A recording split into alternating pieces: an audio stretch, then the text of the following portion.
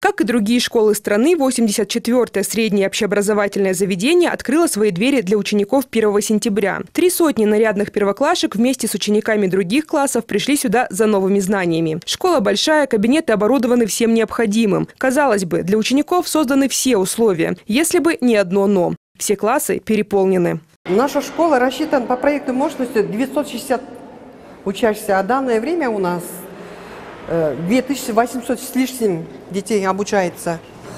А в классе у нас по проекту должно быть по 30 человек, а данное время у нас 40 и более.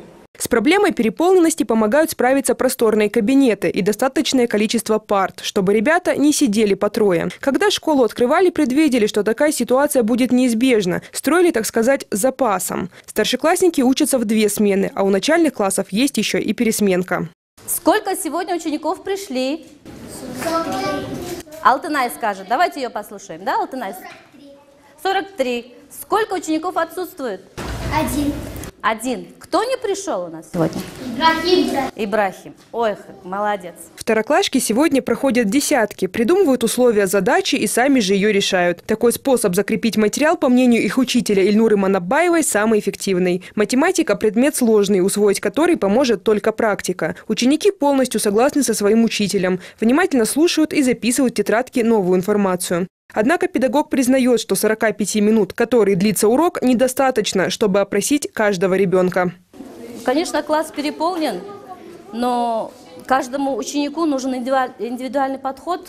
Несмотря на это, учитель старается э, останавливаться на домашнем задании, также повторять прошлую тему, также объяснить новую тему. Все это, конечно, для учителя трудно, но все-таки учитель старается дать ученику самое лучшее. Родители детей относятся к ситуации с пониманием, хотя и предпочли бы, чтобы их дети учились в классах с меньшим численным составом.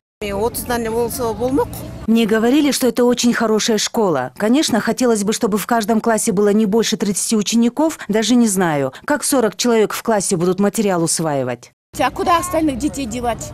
Куда это, если по участку столько детей? Так что это, э, хочешь не хочешь, сама жизнь, по-моему, заставляет набирать 40 детей.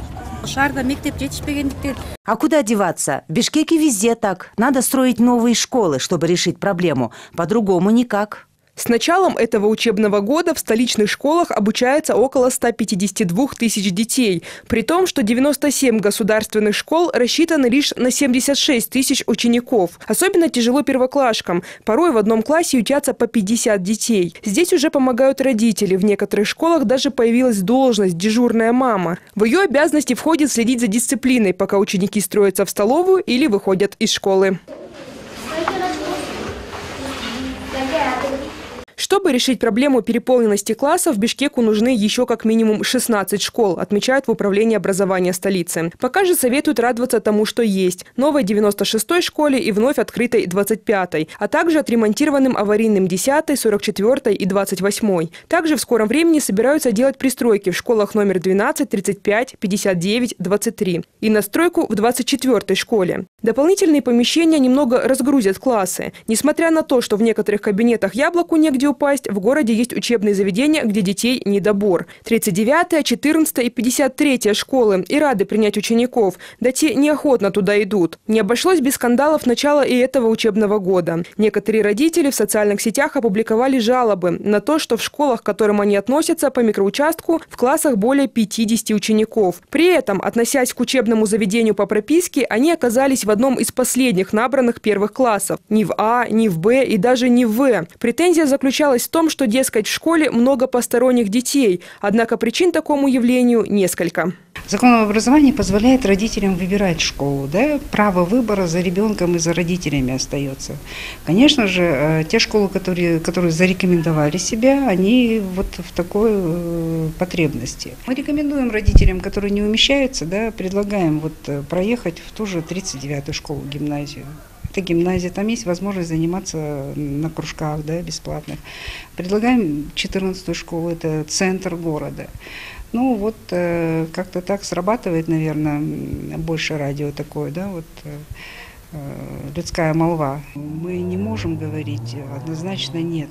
Хотя э, директор нарушает, да. Образовательных учреждений не хватает не только в Бишкеке. Это проблема всей республики. Всего по Кыргызстану насчитывается 2200 школ. Из них более 200 в аварийном состоянии. К концу этого года обещают ввести в эксплуатацию 78 образовательных учреждений. Однако, чтобы решить проблему с нехваткой мест, отмечают в Минобразе, нужно построить еще 600 школ. Екатерина Ступкина, Ирлан Кемельбеков, НТС.